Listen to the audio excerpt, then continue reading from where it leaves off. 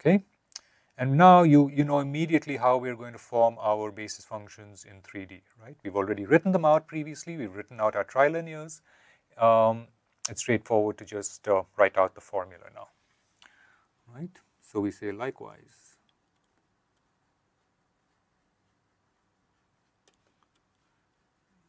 in 3D, right? In this case, we have number of nodes in the element equals number of nodes in 1D cube. Okay. So it was that when we constructed uh, the trilinears, we observed that uh, we had um, 8 degrees of freedom, right, 2 cube. Okay. So it is the same approach, right. So we have um, so you recall that uh, the trilinears, right? The trilinears were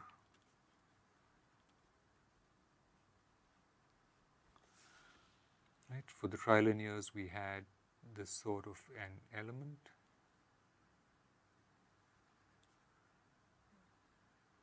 In the biunit domain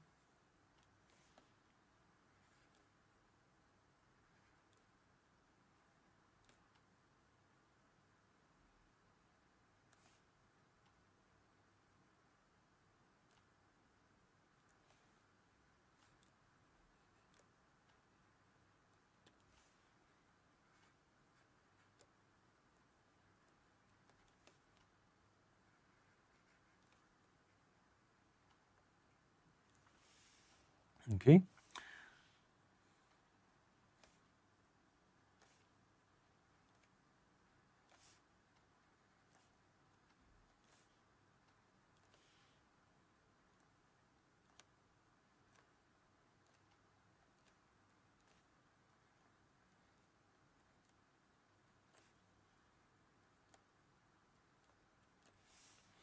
Right. So in this setting, once again, we simply have NA C1, C2, C3 equals n tilde B C1 n tilde C C2 n tilde D C3, right, where uh, B, C, and D belong to um, 1 up to number of nodes in the in the 1D element, right? And A um, belongs to the set 1 up to number of nodes in the element. Okay. So it's completely straightforward to see how we construct these. And then it's just a matter of figuring out uh, the numbering. Okay. Um, the numbering in this case, of course, is A equals 1, 2, 3, 4, 5, 6, 7, 8. Okay. If we were to go to um, triquadratics, uh, there, there are various numbering systems that um, are used depending upon the particular um, preference of the, of the people constructing these, these functions. But typically for triquadratics, let me show you what uh, sort of numbering is followed.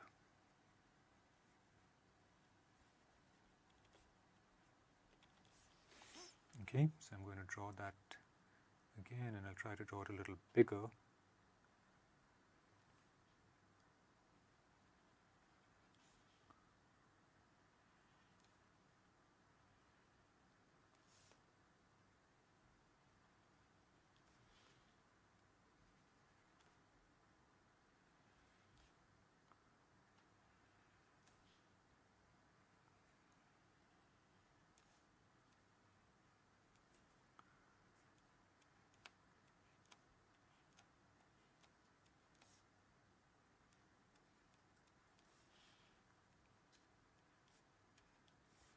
Okay, so these would be our uh, vertex nodes or vertex degrees of freedom.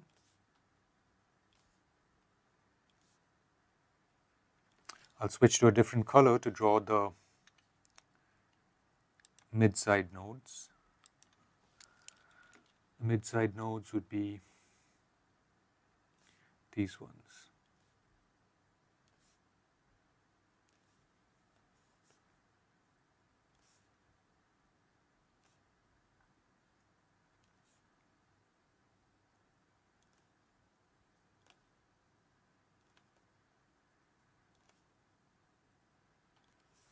Okay, and then there are the mid face nodes, which are uh,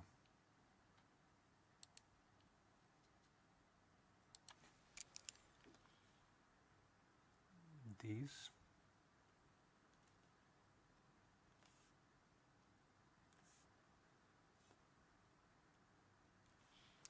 Let me see, one, two, three. Um, guess I need to have one on this no face and um, that sort of does it okay? There's one final which is a mid uh, mid body node for which I'm sort of running out of colors here but maybe I'll use black okay? This one would be in the very center the centroid of the of the cube all right, so the numbering that's typically used here is uh, the following. Uh, often the vertex nodes are numbered 1 through 8.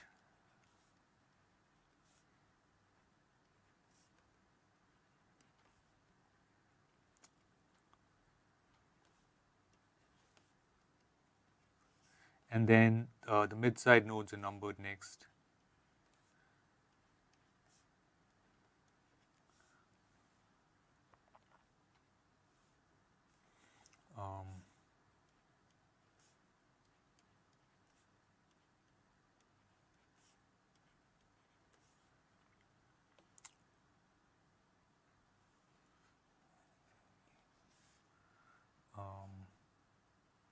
Sorry, I, I went off, I began numbering the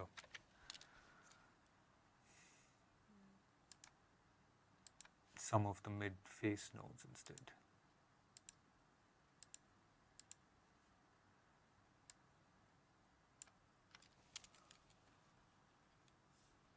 So here 9, 10, 11, 12. Need to erase this one as well. Um, okay, 9, 10, 11, 12, and, and well, okay, 9, 10, 11, 12. Actually, actually, maybe I won't use that numbering system. Uh, what I'm going to do instead is this one. Sorry, uh, 1, 2, 3, 4, 5, 6, 7, 8.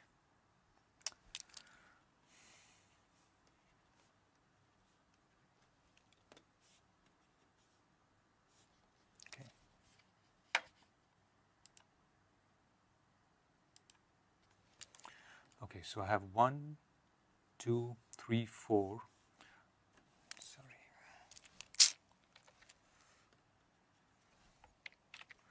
One, two, three, four, uh, five, six, seven, eight, nine, and then continuing on, we get 10, 11, 12, 13, 14, 15, 16, 17, 18, and we get the, body, the, the mid-body node, uh, 19, 20, 21, 22, 23, 24, 25, 26 and 27 ends with the mid-face node on the top. Okay, so there we have it and, and other, other numbering schemes are possible. Now what one has to do in, in constructing these um, triquadratic basis functions is pick any one of these nodes, right? So let's suppose we decide to construct the basis functions for node 5, right, or degree of freedom 5.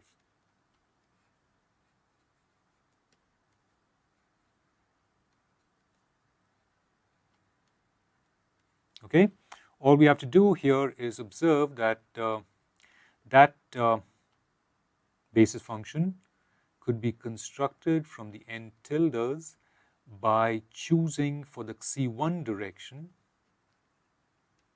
something, something else for the C2 direction and something for the C3 direction. What I'll do now is to come back and actually say which ones. All right, so let's look at this, right? The C1 direction is this. That is the C2 direction and that is C3.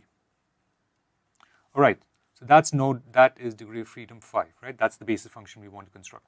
So in the C1 direction, right, when we look back at the way we number uh, the basis functions in 1D, in the C1 direction, we are using the N2, N2 tilde, okay? In the C2 direction, we are using N1 tilde, and in the C3 direction also we're using N1 tilde. Okay, so that's the sort of uh, check one would uh, make in writing out these basis functions in three dimensions and of course the same approach would be used in 2D as well. Okay, uh, the nice thing to observe is that it is just this very simple tensor product formula that one has to uh, use Right? So we construct these basis functions first in 1D and then generalize them to two and three dimensions. Um, of course, this works uh, as long as we uh, are looking at elements that exploit this tensor product construction, right? So it is indeed that when one can go from uh, simple 1D segments in 1D to uh, quadrilaterals in 2D and hexahedra in 3D. Okay, in a couple of segments, we will look at a, a variation on that idea. All right, but we'll end this segment here.